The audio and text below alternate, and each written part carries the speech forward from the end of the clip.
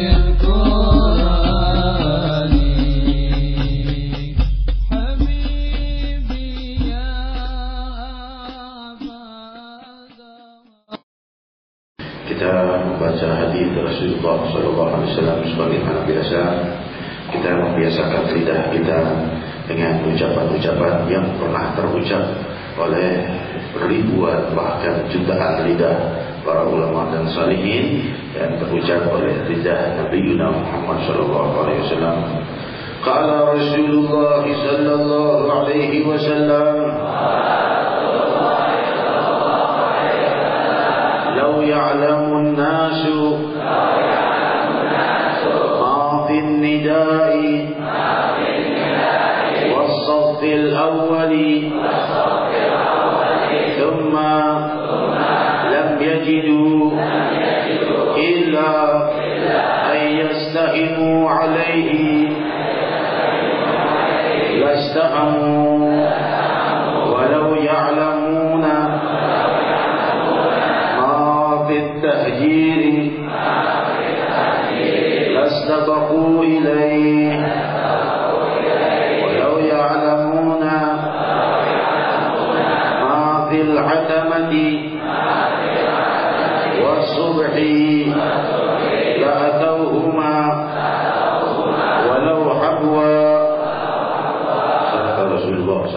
وسلم حديث صحيح رواه البخاري.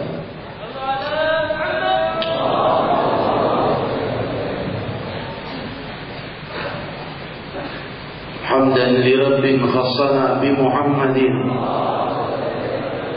وأنقذنا من ظلمة الجهل والدياجل.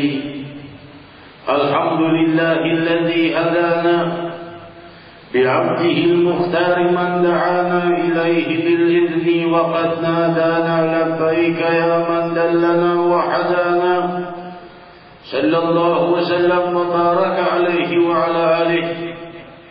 Timbaan puji kehadirat Allah subhanahu wa ta'ala Yang maha menerbitkan matahari di permukaan bumi Dan selalu dalam keadaan terbit berpindah dari dari tempat ke tempat lain.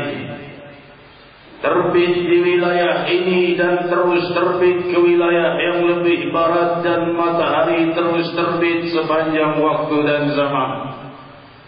Kan tetapi di satu tempat matahari terbit dan akan terbenam menunjukkan kehidupan manusia yang akan hidup dan pasti akan wafat. Tiadalah matahari itu terbit dari kegelapan terkecuali sudah muncul kepastian ia akan terbenam.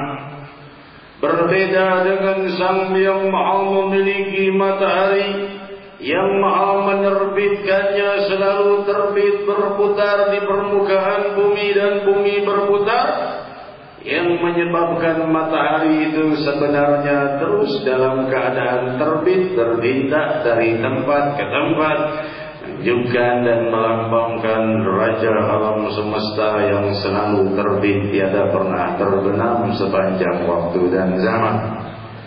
Beda dengan manusia yang terikat dengan tempatnya Maka ia tidak akan menemukan matahari selalu terbit Karena berada di tempatnya. Demikian juga kehidupan kita Yang tidak bisa mengikuti satu generasi pada generasi lainnya. Maha suci Allah subhanahu wa ta'ala Yang maha menerbitkan cahaya tauhid di dalam jiwa kasih sayang dan pengampunan dan keridhaan Allah yang terbit dengan kalimat tauhid la ilaha illallah Muhammad Rasulullah sallallahu alaihi wasallam. Yang kalimat itu membawa terbitnya perjuta matahari keridhaan ilahi. Matahari kemuliaan salat cahaya kemuliaan puasa cahaya kemuliaan zakat cahaya kemuliaan sedekah, kemuliaan birrul kemuliaan-kemuliaan lainnya. Yang kesemuanya itu merupakan matahari yang abadi yang akan menerangimu ketika kau menghadap Rabbul Alamin. Sebagaimana difirmankan oleh Allah, "Yauma la yukhzillahu an-nabi wal-ladzina amanu ma'ahum nuruhum yas'a baina wa bi'imanihim." hari di mana manusia tidak hari di mana Allah tidak akan mengecewakan sang nabi dan orang-orang yang bersama sang nabi dan cahaya mereka berada mengitari mereka di kanan kiri dan seluruh mereka terang benderang dengan cahaya yang bukan matahari karena matahari akan menemui terbenam di umar kiamat dan matahari ibadah matahari ketaatan kepada Rabb tiada akan pernah padam. Karena itu adalah cahaya keridhaan Allah. Hadirin dan cahaya itu akan menerangi mereka bersama sirajan munira Sayyidina Muhammad sallallahu alaihi wasallam. Tapi pastikan kami selalu mendapatkan matahari hidayah Rahman Ya Rahim Ya Dan Jalali Wal Ikram. Jika ada di antara hadirin yang masih belum bakti pada ibunya Pastikan mulai malam ini Ia tidak lagi menyakiti ibu dan ayahnya. Ya Rab Cabut seluruh perbuatan buruk kami terhadap ibunda kami Jika ada di antara kami yang memperbuatnya Cabut perbuatan tidak sopan kami terhadap ayah kami jika ada di antara kami yang masih berbuatnya. Jadikan malam ini malam terbitnya cahaya birrul walidain pada semua kami yang hadir. Yo! Hadirin hadirat yang dimuliakan Allah. Selanjutnya hadis yang minggu yang lalu yang belum kita lanjutkan adalah tiga hal yang tersisa dari tujuh orang yang dinaungi oleh Allah Subhanahu wa taala di hari tiada naungan kecuali naungan Allah. Tujuh hal pertama imam yang adil, orang muda yang tumbuh dengan ketaatan kepada Allah, orang yang hatinya terikat di masjid, orang yang saling menyayangi karena Allah. Sudah kita bahas. Yang selanjutnya adalah pria yang diajak berzina oleh seorang wanita yang indah wajahnya dan mempunyai harta dan jabatan ia menjawab ini akhafullah. Hadis ini Al-Imam Ibn Hajar di dalam Fathul Bari di Syarah Sahih Al-Bukhari menjelaskan ini bukan khususnya untuk pria tapi juga untuk wanita yang diajak berzina oleh pria yang memiliki jabatan dan harta. Orang yang diajak berzina lalu ia menolaknya dengan ucapan ini Allah atau dengan bahasanya masing-masing sungguh aku takut dan risau kepada Allah orang yang menjawab ini kepada orang yang mengajak berzina tidak dilupakan kalimat yang terucap dari bibir dan hatinya Allah naungi ia di yaumul qiyamah di hari tiada naungan selain naungan Allah di hadirat diriwayatkan di dalam muka Syifatul Qulub yang juga riwayatnya teriwayatkan di dalam Sahihul Bukhari secara ringkas. Jika seorang wanita tidak mempunyai kemampuan untuk menafkahi anak-anaknya sehingga ia terjebak kepada kebutuhan dan dia mengetuk pintu seorang penguasa seorang kaya raya dan seorang kaya raya membuka pintu. Apa hajatmu wahai wanita? Aku butuh uang untuk anak-anakku. Maka orang kaya berkata, kalau kau butuh uang padaku, kau boleh saja, tapi aku mau berzina denganmu dan berkumpul denganmu. Kuberikan apa yang kau mau. Wanita itu menolak dan pulang. Sampai di rumah lihat anaknya yang lapar. Minta ke sana kemari tidak ada yang memberi. Akhirnya ia putus asa dan kembali. Kembali kepada pria itu dan berkata, ya sudah kalau begitu aku pasrah saja. Aku akan bantu kau dengan lebih dari yang kau minta. Tapi ketika ia sudah didekati oleh pria itu bergetarlah wanita ini dengan gemetar dan dahsyat. Kenapa kau ini? Tidak pria itu. Ia berkata, aku takut pada Allah. Ucapan itu menggetarkan jiwa sang pria yang kaya raya ini karena keluar dari hati yang penuh iman. Kalau hati yang penuh iman, kalau berucap menggetarkan orang lain. Maka wanita yang tidak berdaya dan miskin berkata, aku takut pada Allah. Pria kaya itu berkata, kau ini sudah miskin, cobaan berat, sudah sulit hari-harimu, mau menjual dirimu tidak mau, takut kepada Allah, sedangkan aku diberi kenikmatan yang banyak oleh Allah, aku mestinya lebih takut dan risau daripada engkau. Sudah ini uang kuberikan kau pulang, aku tobat pada Allah. Ini riwayat Sahih Bukhari. Riwayat lainnya. Muka syifatul dulu oleh Imam Ghazali jika seorang pria senang dengan seorang wanita, ingin dekat dengannya dan ingin lebih dari itu, diikutilah ke mana wanita ini pergi. Suatu waktu wanita ingin pergi ke tempat yang jauh. Kalau zaman dulu kan kafilah. Kalau sekarang pakai bis atau pakai kereta api atau pesawat atau kapal laut. Ini dengan kafilah rombongan dia ikut, dia ikut. Waktu malam sepi, banyak orang sudah tidur, perempuan ini belum tidur, didekati oleh dia. Kenalan, mulai hal yang lebih, wanita itu berkata, sebentar, sebentar, sebentar. Saudaraku, sebelum kita teruskan kemauan kita, kata sang wanita, lihat dulu apa orang semua sudah tidur. Pria dengan senangnya lihat sana sini, semua sudah tidur. Wanita berkata, apa ada yang melihat kita? Tidak ada yang melihat, semuanya sudah tidur. Wanita itu berkata, apakah Allah tidur? Pria itu kaget.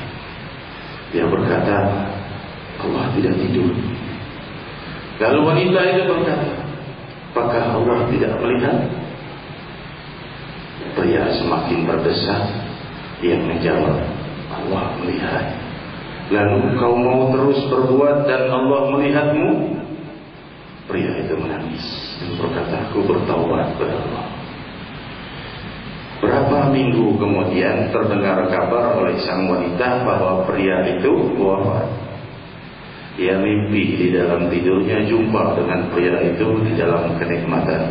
Engkau kan pria yang jumpa di malam itu hampir saja kita berbuat dosa dan tidak jadi. Iya betul. Kok sekarang kau begini mulianya setelah kau wafat? Ia berkata terima kasih wahai wanita yang sejak kau menegurku itu aku bertobat kepada Allah. Allah membimbingku pada kemuliaan. Hadirin hadirat demikian indahnya taubat dan demikian Allah menaungi mereka. Yang selanjutnya adalah orang yang bersedekah dengan sembunyi-sembunyi. Ini yang nomor enam. Ya. Yang kelima sudah kita bacakan. Yang keenam adalah orang yang sedekah dengan sembunyi-sembunyi kata Rasul sampai tangan kanannya memberi, tangan kirinya tidak tahu. Maksudnya adalah ketika ia memberi itu sangat tersembunyi. Bagaimana contohnya? Contohnya ada orang fukara jualan. Orang miskin atau orang yang menjualan, orang susah jualan. Ini berapa harganya? Misalnya 10 ribu. Tahu kita ini harganya 8 ribu, bayar 10 ribu. Kalau saya tawar 8 ribu, pasti diberi. Memang harganya 8 ribu misalnya. Dia langsung beli tanpa nawar. Maksudnya sedekah. Ini yang disedekahi pun tidak tahu bahwa dia disedekahi. Sang penjual tahunya nih orang tidak nawar langsung beli. Padahal mau bersedekah. Ini jangankan uh, orang yang disedekahi pun tidak tahu. Orang lain apalagi. Yang disedekahi pun tidak tahu yaitu sedang disedekahi. Orang yang seperti ini dinaungi oleh Allah Subhanahu wa taala. Hari ini tiada naungan kecuali naungan Allah Subhanahu wa taala. Diriwayatkan dalam Sahihul Bukhari ketika salah seorang yang mengumpulkan hartanya yang banyak untuk bersedekah sembunyi-sembunyi. Ia kumpulkan uang sampai berjumlah sekian ribu dinar dalam satu tahun. Kerja khusus untuk bersedekah. Tapi sembunyi-sembunyi. Sudah kumpulkan, pergi keluar malam hari. Lihat ada seorang wanita tidur di jalanan. Wah, ini orang susah. Kasih uang, yang menutup wajahnya, berikan bungkusan uang itu dan lari supaya tidak diketahui wajahnya. Pagi hari gempar di kampung. Ada pelacur dikasih sedekah orang yang sembunyi-sembunyi. Dia berkata, Subhanallah, salah beri. Mau dikira wanita susah, ternyata pelacur. Ya Rab, aku setahun mengumpulkan uang untuk dapat pahala sedekah yang sembunyi-sembunyi. Ternyata uangku untuk pelacur. Tapi dia tidak putus asa. Dia kumpulkan lagi uang. Sampai setahun jumlah sekian ribu dinar. Sekarang aku tidak mau tertipu. Pilih-pilih dulu. Lihat ada orang sedang duduk. Diam saja di satu tempat yang gelap. Ini pasti orang susah. Kasih. Lari. Paginya gempar lagi. Pencuri sedang mau mencuri mendapat uang sedekah dengan uang yang besar. Ya Rabb, dua tahun aku bekerja khusus untuk memberi nafkah orang yang susah dengan sembunyi-sembunyi. Tahun pertama pelacur, tahun kedua pencuri. Dia tidak kapok, kumpulkan lagi uang sampai satu tahun. Ya Rabb, ini yang terakhir. Kalau sudah masih lagi sampai kepada sedekah bukan pada orang yang mustahil, selesai ya Rabb, aku tidak mampu lagi. Ya lihat ada orang tua tengah malam jalan sendiri dengan tongkatnya tertatih-tatih. Wah ini orang yang berhak pasti. Malam-malam begini orang tua jalan malam-malam pasti orang susah dengan tongkat dilemparkan uang itu ini untukmu. Dia pun pergi. Pagi hari gempar lagi kampung. Ada kabar apa? Orang paling kaya dan paling kikir dapat uang semalam oleh bersedekah yang sembunyi-sembunyi. Ya yang pertama pelacur, yang kedua mencuri, yang ketiga orang paling kaya, paling kikir di kampungnya. Ya Rob, apa arti dari perbuatanku? Ya pun dia. Sekian tahun kemudian, 20 tahun. 20 tahun kemudian, Allah Subhanahu wa taala sampaikan kabar padanya ada dua orang ulama besar adik kakak. Muridnya puluhan ribu. Dia termasuk orang yang asyik dengan ulama itu. Ini ulama adik kakak dua-duanya orang yang sangat luar biasa ilmunya luas. Pengikutnya puluhan ribu. Ya berkata subhanallah, ini ulama adik kakak, siapa ayahnya? Kasar kusuk tanya sana sini. Ternyata dua orang anak itu adalah ibunya seorang pelacur dulu. Tapi tengah malam ada yang memberi sedekah sembunyi-sembunyi. Ibunya itu melacur untuk nafkah anaknya. Maka ia taubat dari pelacurannya. Ia sekolahkan kedua anaknya dengan harta itu. Allah jadikan dengan harta itu anak ini naik menjadi ulama besar. Dan pahala yang kembali kepadanya air matanya. Ternyata yang kuberikan 20 tahun yang lalu Allah menjadikannya berlipat ganda. Sampai muncul dua orang ulama saleh Puluhan ribu orang yang beribadah dan mengikuti ilmunya Dan pahalanya untuk dia. Ini keikhlasan seseorang. Tidak lama kemudian dia dengar lagi Ada seorang wali saleh wafat. Masya Allah, ratusan ribu yang antara jenazah. Siapa orang itu? Orang itu dulu pencuri. Saat dia sedang mencuri, ia berdoa kepada Allah, Ya Rabb, beri aku keluhuran kalau aku dapat rizki. Malam ini aku taubat. Ada yang melemparinya uang. Lantas ia taubat, ia bersedekah, ia masuk ibadah dan tidak keluar dari tempat ibadahnya. Sampai Allah angkat dia menjadi orang yang saleh.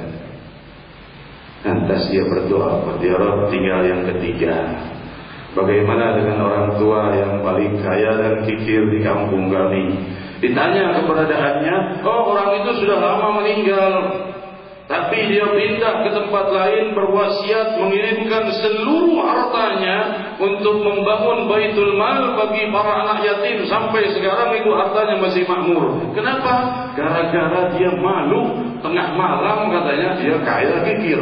Tengah malam ada yang sedekahi, dia berkata ini orang sedekah padaku, aku tidak pernah sedekah. Ku nafkahkan seluruh hartaku dan harta ini untuk baitul mal yang untungnya terus berlipat ganda sampai sampai saat 20 tahun tidak berhenti. Ini lipat gandaan di dunia dan terpahalanya di hari kiamat dinaungi oleh Allah Subhanahu wa taala.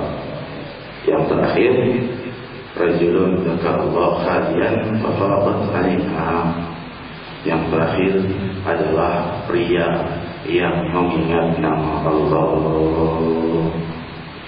Yang menyebut nama Allah.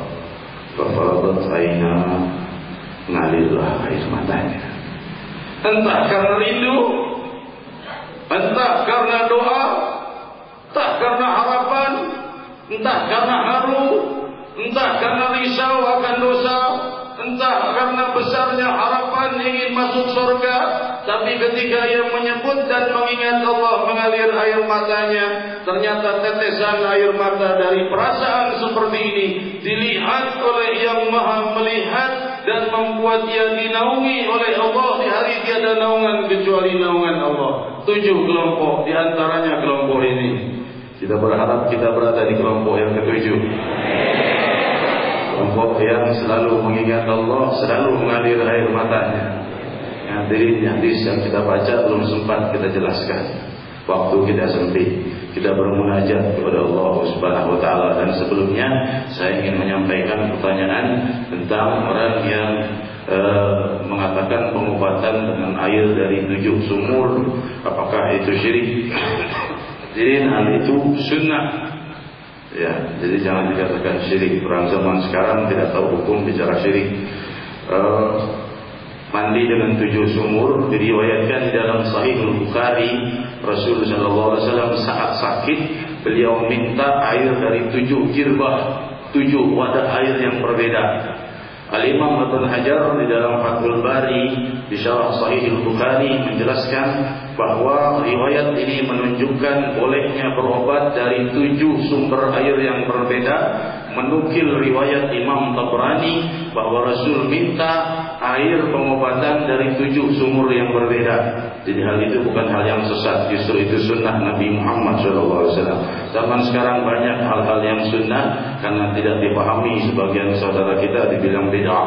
Sampai ziarah saja kepada Rasul Sallallahu Alaihi Wasallam dipersulit sampai orang tidak boleh doa menghadap ke makamnya Rasul. Apa salahnya makam Rasul? Kalau doa menghadap kandang kuda tidak dilarang, kenapa menghadap makam Rasul sallallahu alaihi wasallam dilarang? Alhamdulillah dari pelarangan seperti ini. Semoga Allah membenahi akidah khususnya di bumi Jakarta dan di seluruh wilayah muslimin. Dan bermunajat kepada Allah Rabbi untuk saudara-saudara kami di Palestina.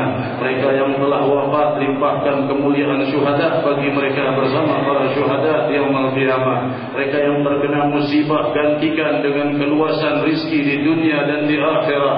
Dan seluruh muslimin di wilayah Poso, Kashmir, Irian Jaya dan seluruh wilayah barat dan timur yang tertindas pecah belahkan Rabbi persatuan musuh-musuh Islam. Persatukan muslimin muslimat. Benahi akidah kami. Benahi Masjidil Aqsa. Benahi Masjid benahi Baitul Maqdis. Benahi Makkah dan Madinatul Munawwarah dari akidah-akidah yang tidak benar. Ya Rahman ya Rahim ya Dal Jalali wal Ikram. Bangkitkan para pecinta Nabi Muhammad wasallam di bumi Jakarta dan di seluruh wilayah muslimin Ya Dal Jalali wal Ikram Ya Dal Tawli wal In'am Kami bermunajat untuk diri kami Dan untuk ayah bunda kami Dan untuk seluruh muslimin muslimat Ya Allah Ya Dal Jalali wal Ikram Inilah kami mengadukan dosa-dosa kami Kesalahan kami pada rumah tangga Pada ayah bunda Pada anak istri suami. Rabbi maafkanlah dan benahi keadaan kami. Ya Dal Jalali wal Ikram Ya Tawli wal In'am Kami telah diajari oleh Nabi kami Muhammad sallallahu alaihi wasallam untuk mendoakan orang-orang yang pernah kami caci bahwa Rasul pernah berdoa wahai Allah jika ada di antara orang mukmin atau orang Islam yang sempat ku caci maka jadikan itu pahala dan kedekatan kepadamu di hari kiamat. Rabbi kami berdoa dengan doa Nabi Muhammad sallallahu alaihi wasallam jangan jadikan lidah kami lidah pencaci jadikan lidah kami lidah yang asyik memujimu ya Rahman ya Rahim. Ya Dal Jalali wal Ikram ya Dal Tawli wal In'am ya Rahman ya Rahim inilah kami hamba penuh dosa inilah kami penuh kesalahan inilah kami penuh kekurangan dalam menjalankan syariah dan perintah-perintahmu dan kami selalu terjebak dalam larangan-laranganmu. Kami mengadukan kehadiratmu Rabbi kami mengadukan pada yang maha dekat kami mengadukan pada yang maha mendengar Ya Rahman Ya Rahim. Wahai yang maha mendengar getaran jiwa kami Wahai yang maha mendengar kesedihan kami atas perbuatan dosa kami Wahai yang maha melihat hati yang terharu dan terpanggil untuk taubat Namun masih belum berani melakukannya. Ya Rahman Ya Rahim Kau melihat dosa-dosa kami Kau melihat kesalahan kami Dan kau Rabbi yang menawarkan pengampunan Maka ampunilah kami Ya Jalali Wal Ikram. Ya Wal Inam Ya Rahman Rahim Kau melihat perbuatan dosa kami yang tidak mampu kami hindari Yang tidak mampu kami mundur dan meninggalkannya Atau perbuatan perintahmu yang belum mampu kami melakukannya Kau melihat kami tidak mampu Rabbi Maka beri kami kekuatan Terbitkan matahari hidayah pada kami lebih dengan terang benderang. Kami yang telah dalam ketaatan tambahkan ketaatannya. Yang dalam kehinaan angkat pada kemuliaan. Tambahkan kemuliaan di atas kemuliaan. Ya Rahman Ya Rahim. Di antara kami yang mempunyai permasalahan dalam rumah tangganya. Di dalam permasalahan dalam kehidupannya. Dalam sekolahnya, dalam pekerjaannya. Dan di dalam segala apa dari kesulitannya. Angkat segala kesulitan kami gantikan dengan kebahagiaan Yang maha melimpahkan kebahagiaan siang dan malam tanpa pernah bosan. Ya Rahman Ya Rahim Ya Dal Jalali Wal Ikram Pastikan seluruh wajah ini tidak pernah melihat api neraka. Pastikan seluruh kami semua yang hadir di sini dan yang mendengar dilimpahi rahmah dan keberkahan.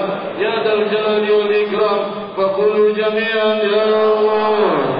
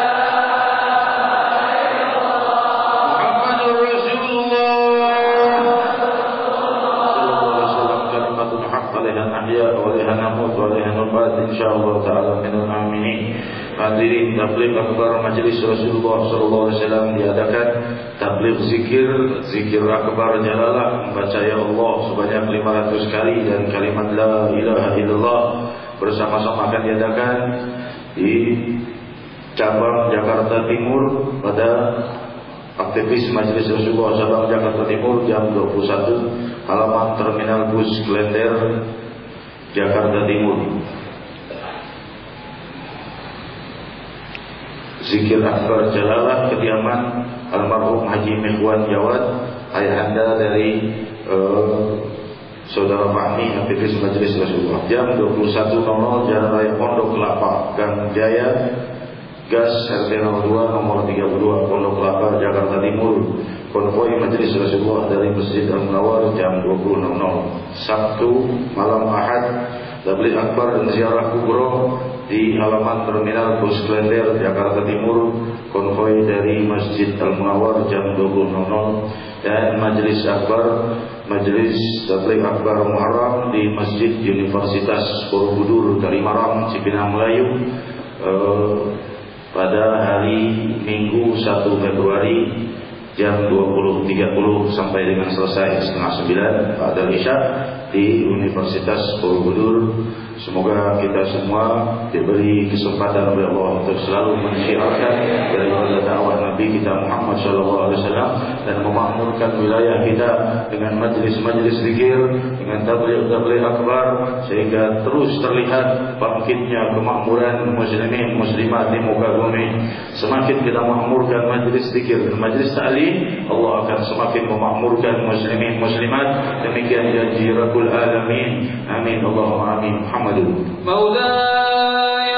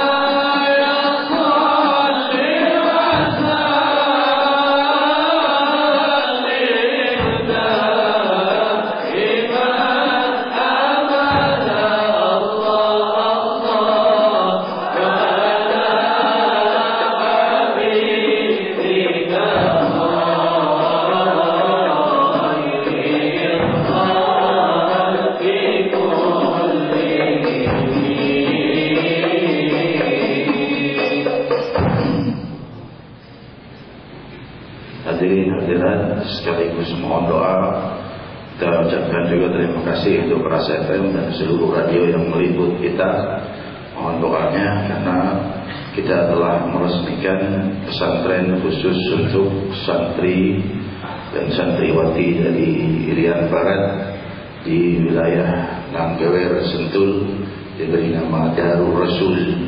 Pesantren ini adalah dari uh, perjuangan Kiai Haji Ahmad Bayaki bersama Majelis Rasulullah SAW.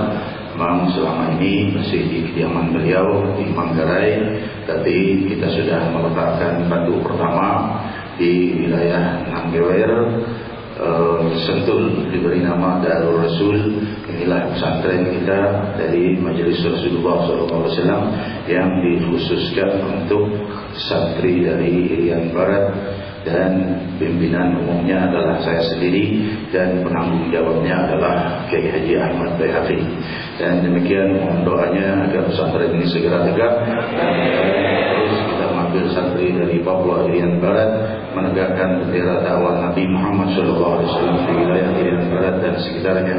Amin. Allahumma amin. Kita ucapkan Fatihah Untuk tegaknya pesantren mulia ini. Semoga Allah SWT melimpahkan keberkahan Wa ila hadratin Nabi Sallallahu alaihi wasallam. Al-Fatihah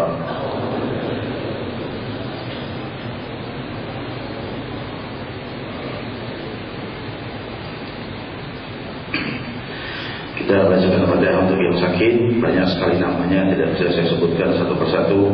Semua yang sakit yang tertulis di sini Akan diberi kesembuhan oleh Allah Taala.